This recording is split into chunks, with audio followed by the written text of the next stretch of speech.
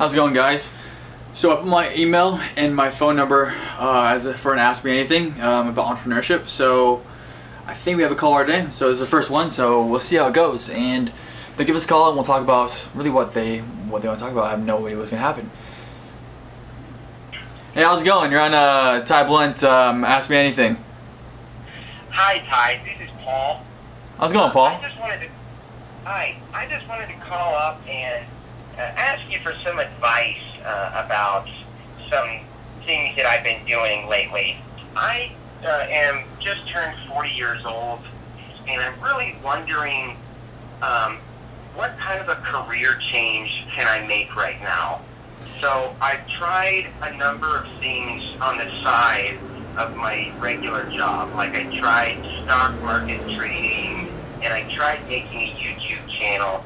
But of those things I quit doing after three months, and and I'm just really wondering if working for myself is cut out for me. What do you think? Yeah, yeah, no, good question, right? So, um, like 40, you have you have so much life to live in a sense um, that you should be going after whatever you want. First off, um, if you want a side job, a side hustle, that's not a big deal. Um, you said you traded and uh, you did YouTube content. Above 40, I think, is the next big push um, for Facebook and YouTube content because um, thinking our like my age is taking has already it's already on YouTube and there's already a lot of consumer base there.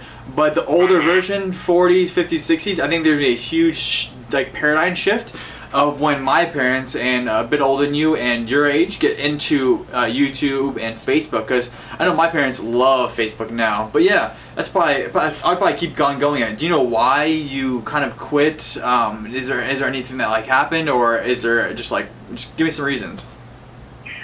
Yeah, so when I first started, I had all of this enthusiasm towards it and all this energy that I really put into the channel. And after a while, it just kind of, the excitement wore off and it wasn't as, uh, I wasn't quite as excited to do it anymore. And so I just thought, oh, well, I guess I don't really like doing this that much, so I might as well quit. Yeah, no, definitely. that happens to a lot of people. Um, everybody says, "Oh, find your passion, find this, blah blah blah." blah. No, I think you just have to mark your goals, and because even if you even if you put out content daily, that's still a great goal to have, right? Even if you not try not try to think of the process, not the end goal, right? We all want to get rich, we all want to have millions of dollars, but the process is really what takes you there. If you plant seeds, we had a, we had a guy we interviewed. He said if you plant seeds every day, those seeds will then flourish to grow to crops, right? So that's what you should do. Keep on going, keep pushing yourself. Um, make daily goals and weekly goals um, that you can actually uh, mark down on a calendar or a whiteboard or whatever you have. Um, so you do those things. Still work your 9 to 5 job if you have that, or if you're an entrepreneur on the side, awesome, that's cool.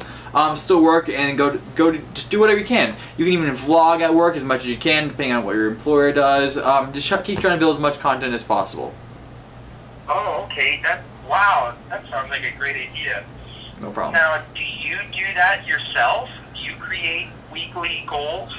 Yeah, no, I, I do definitely. Um, and we have uh, one of our guys, Henry. He's he's really good at um, creating daily goals and hitting those as well. Um, and yeah, so we like we try to make that a staple in the company that we need to have daily goals and weekly goals. I just have uh, ten things on my daily to-do list. Right? Um, I crushed out um, five of them already, and I have four more hours to crush out the rest. Um, but yeah, it just keeps you on track and dedicated, and then you'll start seeing the results once you go down. But don't quit. It's like it's, it's gonna get hard. If it was so easy, anybody can do it, right? Yeah. Wow. Wow, that is really amazing. That's a great idea. Create daily goals that I can act on, and then I guess that would probably build my self-confidence if I'm meeting my goals all the time too, right? Exactly, right? It's just progress because it's going zero to one is the hardest part. Getting that first big pop um, where you're either making money or you have, let's say, 10,000 um, viewers or if not viewers, uh, subscribers. It's all about that big pop and you'd be like, wow, all this work months down the line, it was well worth it. Wow, that's, that's awesome. I wish I would have talked to you earlier. no problem, man. I'm glad you called in. Yeah, thank you very much, Ty. and I hope you have a great day. And is there anything that we can do that I can do to get in contact with you more? Yeah, definitely. First, uh, like and subscribe our channel on YouTube. I'll, I'll send you a link to that. Um, send me an email at ty at with ease now if you have any questions or concerns. We'll, we always will help you. Wow, that's that's fantastic. Thank you so much, Ty. No problem, Paul. Catch you later, man. Thank you. Bye bye. Hey, that was the first one. Hope you guys learned something. I think I did right. Um, we'll try to do this as much as possible. Keep on track. I'll post to Facebook and uh, Reddit, which we had this one. Um, that was an interesting conversation. We'll get there, right? Give us a like, subscribe if you want any more content. Um, catch you guys later. Easy.